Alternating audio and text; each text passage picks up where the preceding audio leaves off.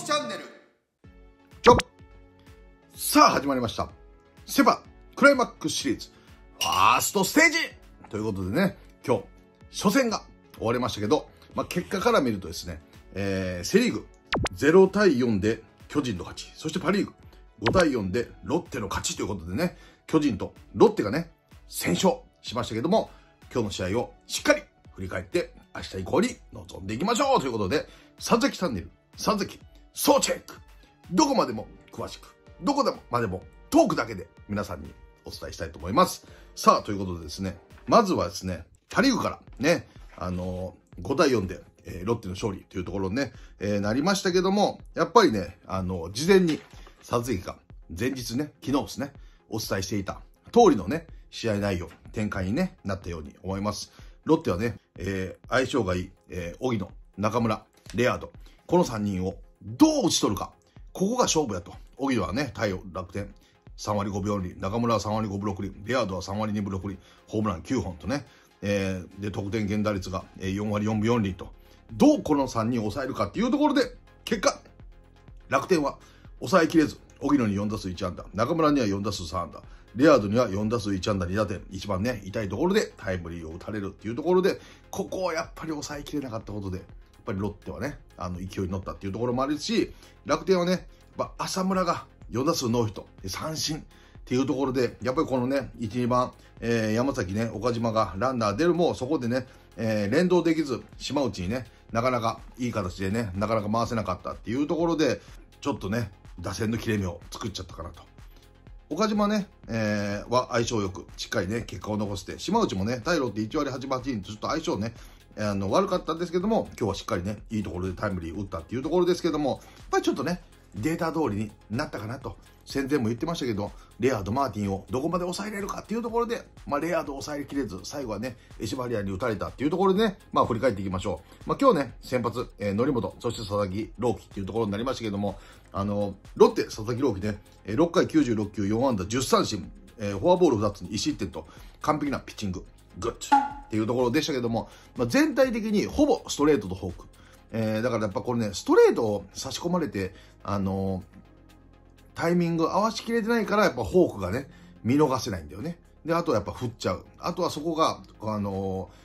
ー、なんていうかな、どっちつかずになって、浅村とかね、見逃し三振してしまうっていうところが、非常に、えー、痛かったかなと。あと、ストレートとフォークボールが、腕の振りがね、同じっていうところで、バッターとしてはやっぱり見分けがね、つきづらかったように見えますけども、やっぱり対左に対しての、あの、対角線、左バッターのインコースストレート、ここがね、若干甘めに入ってきてるんだけども、そこを一目切れず、そこをしっかり一目切れたのが、まあ、岡島だったね。しっかりね、そこを対応できたっていうところで、まあ、打率ね、しっかりヒットが打ってたっていうところになるし、他のバッターね、ちょっと仕留めきれなかった。で、対右に対してはしっかりアウトコースね、投げ切れてたっていうところで、なかなか難しかったかなと。ほぼまっすぐとね、ストレート、えー、あ、まっすぐとストレートですね、同じことだと。ストレートとフォークボールっていう配球でしたけども、まあ、このストレートの威力の良さとフォークの腕の振り、これがね、やっぱり一番功を奏したかなと。で、その中で全体的な試合展開、5対4でロッテが勝ったけども、全体的に言えば、ほぼロッテの自滅です。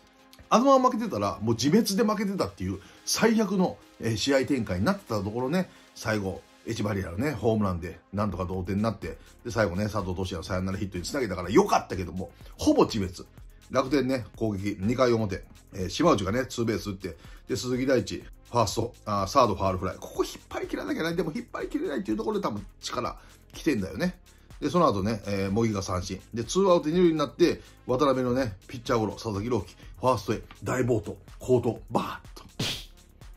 あそこ、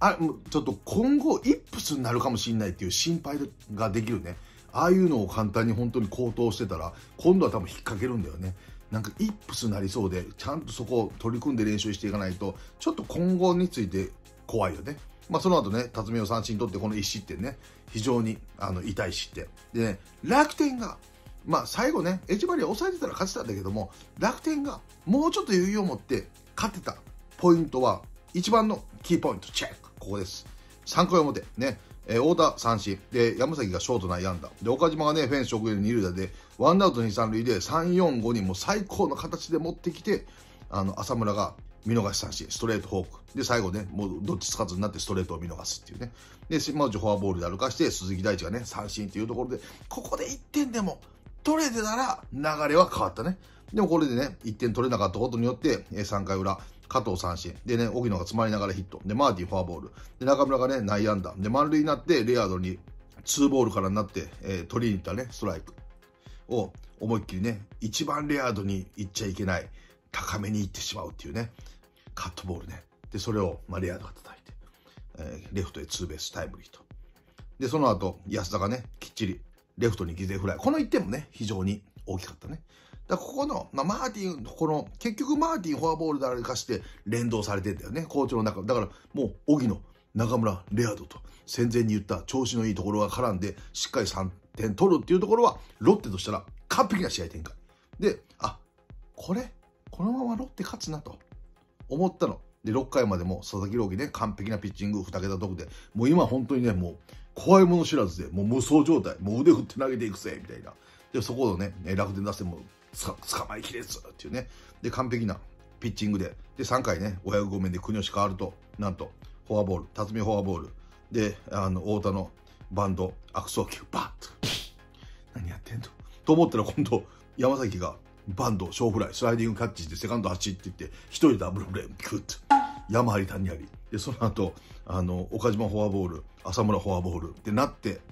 ピッチャー交代、唐川、初球のカットボール、甘め入って、島内さすがの打点を左中間にタイムリーツーベース、走者一掃、逆転。これでもう、この流れ的には、ちょっともう、だ全部自滅なんだよね、ロッテはね。エラーで得点やって、フォアボール、フォアボール、ミス、フォアボール、で、ピッチャー交代して策もはまんない、で、島内に打たれる、逆転、もう完璧な流れからどん底、自滅、もうこれで完璧な負けの展開だったところで、8回、えー、松井裕樹変わって、えー、中村にはね、ストレート、えー、キャッチャーフライ。続いて、レアードには、えー、6球使って、最後、ストレートで三振。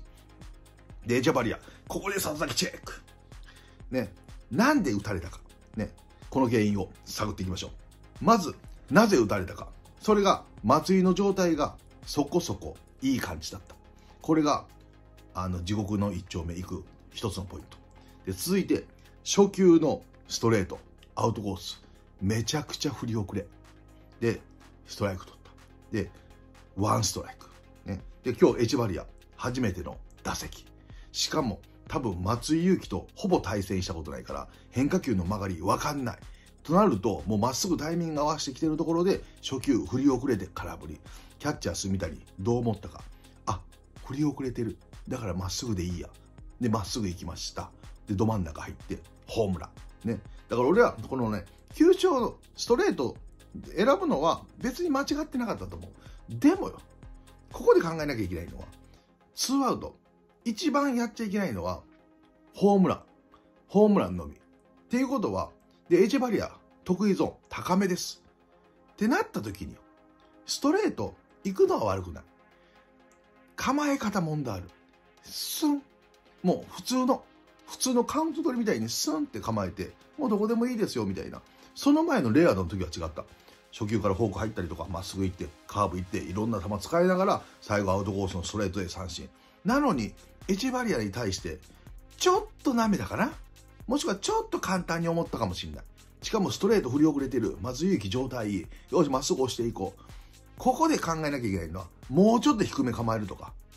する意識必要だったと思う。炭谷が。ちょっと簡単に構えすぎて、松井裕樹もちょっと簡単にスーって行きすぎて、で、そこをね、あの2球、2球でエチェバリアもアジャストした。それはグッド。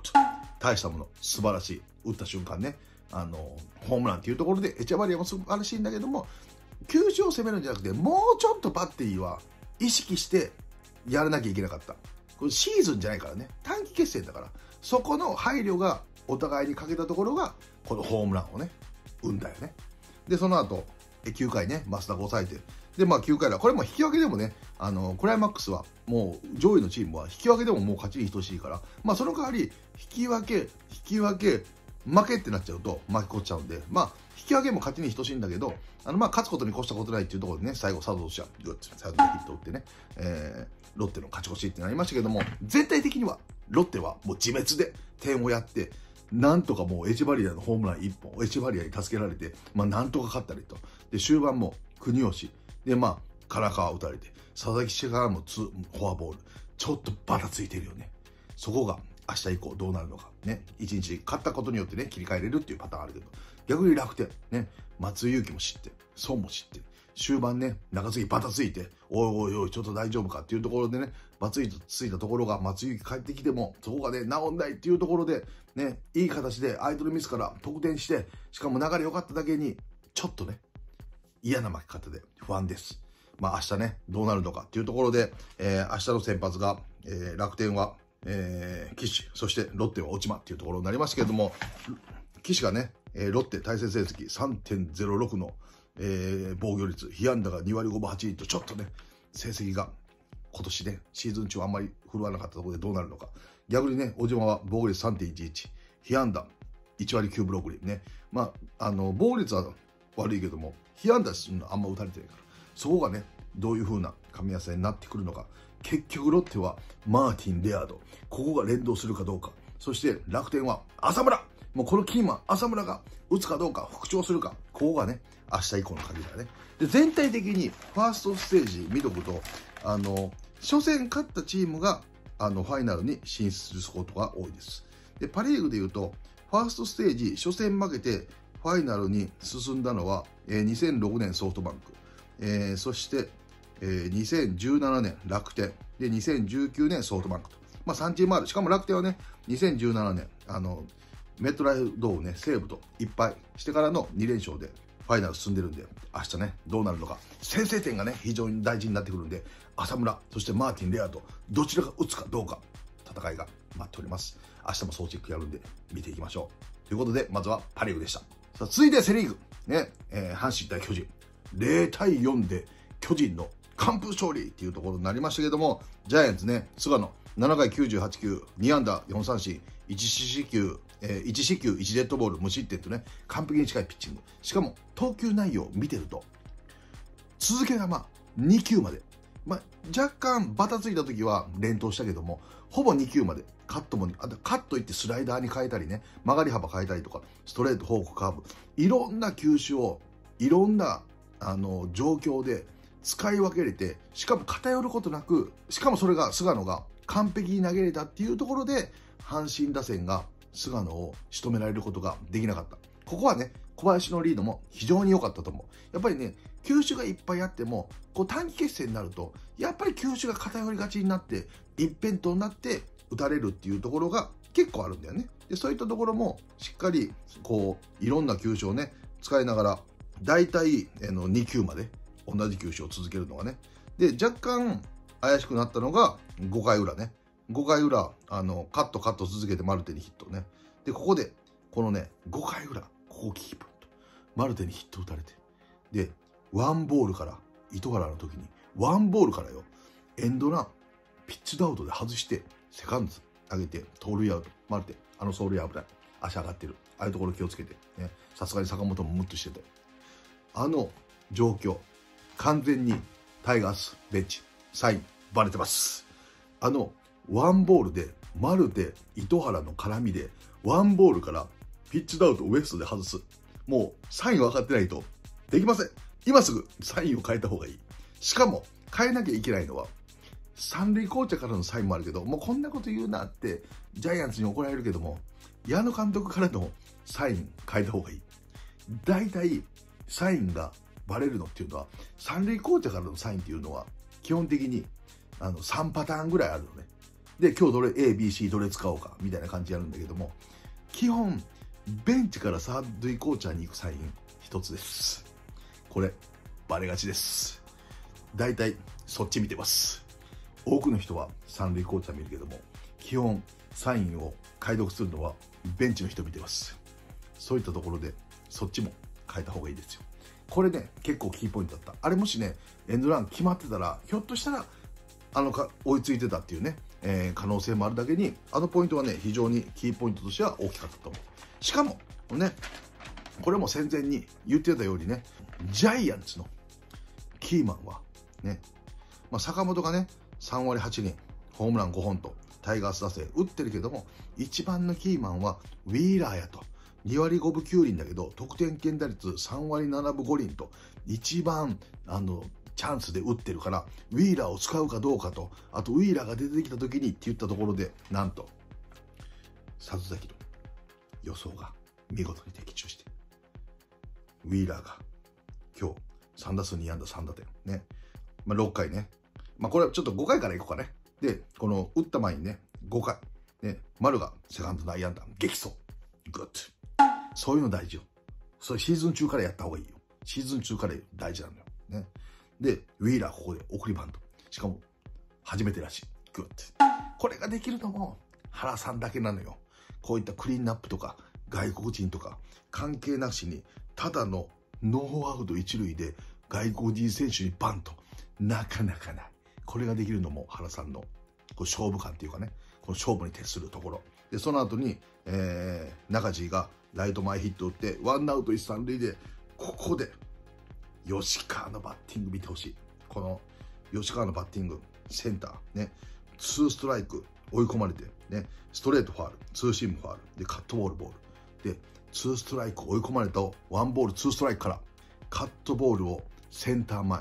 このバッティング、グッド素晴らしい。何が素晴らしいかっていうと、当てに行く。もうコンパクトに当てるだけ。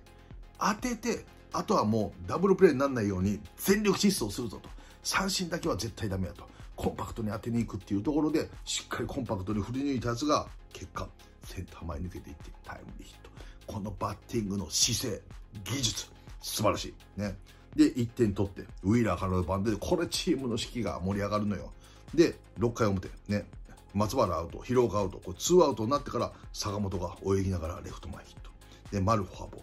ル。2アウト1、塁からウィーラーのタイムリーツーベース。このバッティングもウィーラー見てほしい。初球、ツーシーム、センターオーバー。多分、インコース、待ってない。もうアウトコースよりオンリーで待ってたと思う。なぜかっていうと、若干踏み込みながら肩入ってて、体重ちょっと前がかり。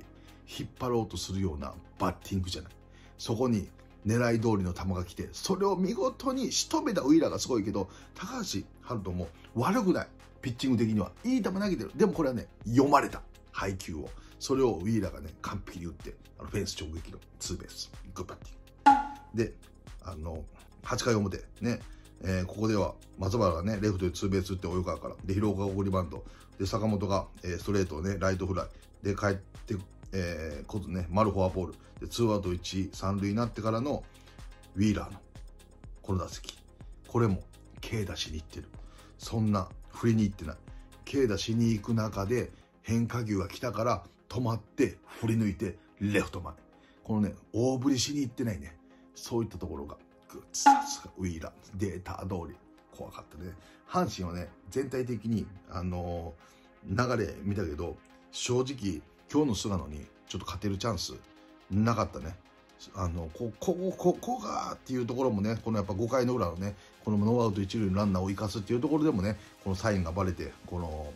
チャンスをね、逸したっていうところもあるし、もう強いて言ったらこの6回裏の2アウト1塁から中野がフェンスオーバーちょっと打って、2アウト2、3塁になって、この近本、こ近本ね、この巨人戦3割1厘と、ね、あの、得点圏では3割2分と、好成績残してるだけにここで1本というところで、でも2アウトだからね、これを攻めたらちょっとね、かわいそう。で、まあ最後はね、9回、あの、ビエイラに代わって、えー、近本フォアボール、マルテ三振、で、糸原ショートゴロ、で、大山がレフトゴロ、で、ロハスがね、フォアボール、満塁になって代打坂口。ここで、ピッチャー変えれるか？これがまたハマって、もう原采配、本当にハマったね。ここで4点差だからね。点取られるまではビエイラ行きそうだけど、もう点取られる前に、もうここで畑に変えた、この采配、また神がかってきた原采配が。で、原口もサードライナー、ナイスバッティングだったよ。でも正面っていうところでね、でまあ、ここも4点差だからね、もうどうにもすることができないっていうところで、まあ、しっかりね、あの、まあ、勝ちきれたっていうところで、まあ、この1勝がね、ジャイアンツにとったら大きい勝利になったし、こう菅野のね、やっぱりここ一番のピッチング、大舞台あナイスピッチングがねできたかなと。で、えー、先ほどねパ・リーグの場合言ったけども、えー、セ・リーグの場合はクライマックスファースト、初戦負けて、えー、進出したのは17年の、えー、DNA だけです。だから、1、2、3、4、5、1、2、3、4、5、6、7、8、9、10、13、13回ある中で、1回だけ初戦で負けて、あの、ファーストステージを勝ち抜いたのは、っていうか、ちょっと確率いけだけど、阪神がここ、明日ね、青柳がどういうピッチングするのか、ね、ここが注目です。最後に、えー、セパの明日の試合展開、えー、解説していきましょう。明日ね、パリーグは岸、そして、えー、小島、この両投手のピッチングになりますけれども、先ほども言いましたけれども、やっぱりロッテはマーティン・レアード、そしてあの楽天は浅村。この両者が打てるかどうか、これが一気にポイントになってくるでしょう。あとはね、両チームともちょっと中継ぎがバタついたんで、先発をどこまで引っ張るかっていうところもね、ポイントになってくると思うんでね、そこをしっかり見といた方がいいと思います。でセ・リーグ、ね、青柳と高橋優貴、ね、の先発になりましたけども、青柳はね、このツーシームシンカー系、もうこれが軸で攻めていかなきゃいけないんで、その中で緩いカーブスライダー、これを効果的にどこまで坂本が使えるかが勝負。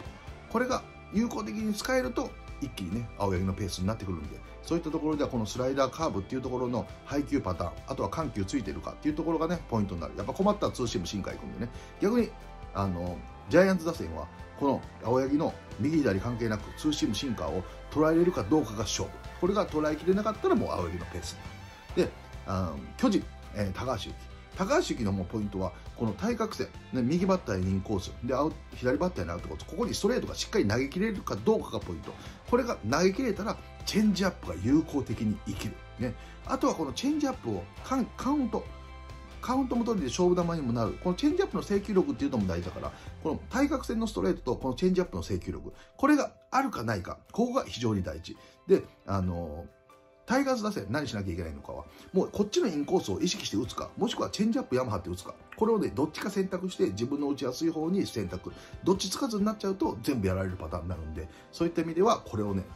徹底できるかっていうところがポイントになってくるよと思います。ということで、えー、土曜日、ね、第2戦、スイープで終わるのか、もしくは、えー、逆襲の1勝を挙げて3戦目にもつれ込むのか、どういう戦いになるのか、明日もしっかりチェックしたいと思います。日曜日は日刊スポーツで評論しますんで、ぜひ皆さん日刊スポーツもチェックしてください。ということで、ファーストステージ第2戦も要チェック。